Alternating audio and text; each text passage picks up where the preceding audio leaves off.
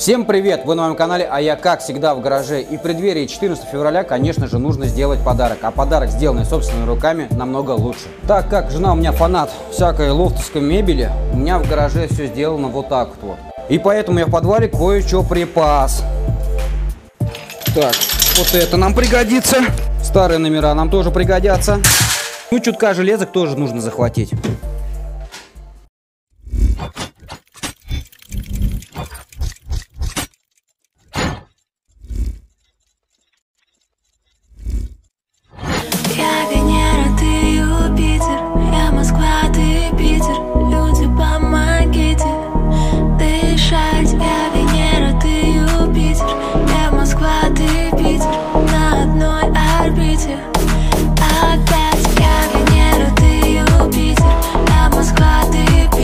Ну а теперь нужно придумать ножки. Ножки, я думаю, взять вот такие вот крепления от стеллажей, от полок. Просто перевернуть, вот тебе, грубо говоря, готовая нога. Только нужно немножко доработать. Чтобы понимали, вот такие стеллажи, вот так нога одевается, чик, и уже вешается полка. А вот уже готовый вариант. Вот так вот она идет, ребята.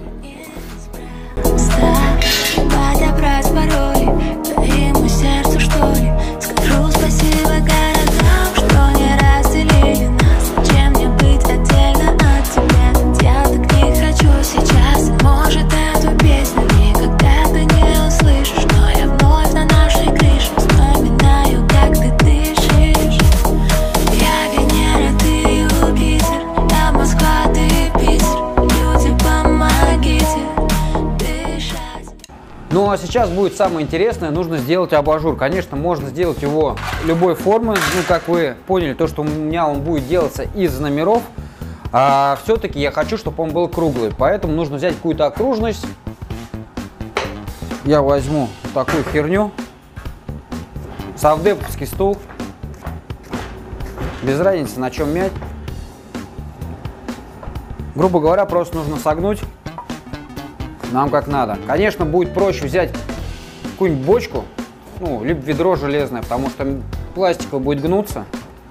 Но нам самое главное придать форму, вот она придается, а тут дальше уже дорабатывать.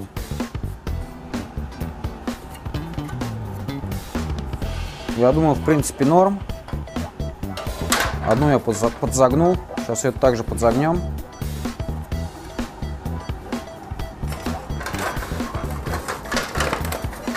Что-то примерно должно получиться у нас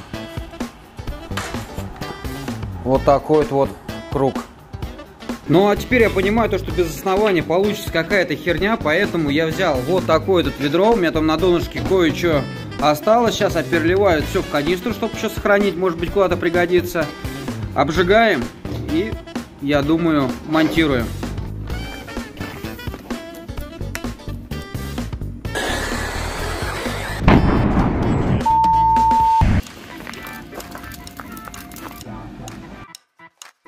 Ну, как вы понимаете, если взять ведро и обжечь, ничего хорошего из этого не получится. Ему место только в чермете, потому что он начинает гнуть, вертеть, и, в общем, нагара слишком много, и оттирать я тоже бы замучился. В итоге я взял новое э, ведро, у меня тут было немного масла от Атачи. Кстати, использую, использовал, использовал, использую, сука, редуктора коробки. Короче, вот и все. Форма у нас есть, надо только отчукрыжить ручку и накидывать номера. Я думаю, что-то получится шедевральное. Я единственное переживаю, знаете, за что? То, что оно, мне кажется, маленько большевато, а может и нормально. Не знаю, короче. Как сделаем, мы все увидим и поймем. Погнали.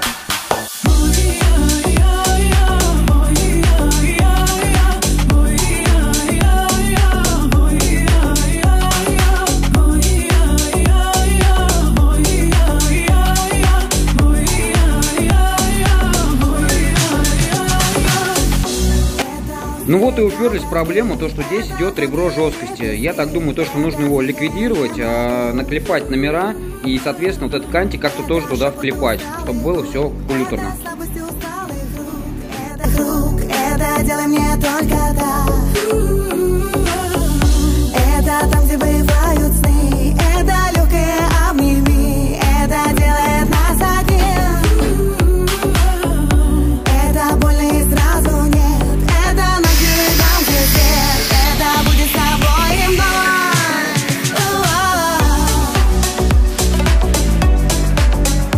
Все собрали и разобрали, потому что нужно красить. Короче, не стала заморачиваться с краскопультом, взял вот такой вот баллон, ребят.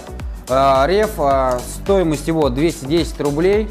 Закинули, краска вроде как должна быть глянцевая. Посмотрим, что из этого выйдет, а я буду продолжать красить.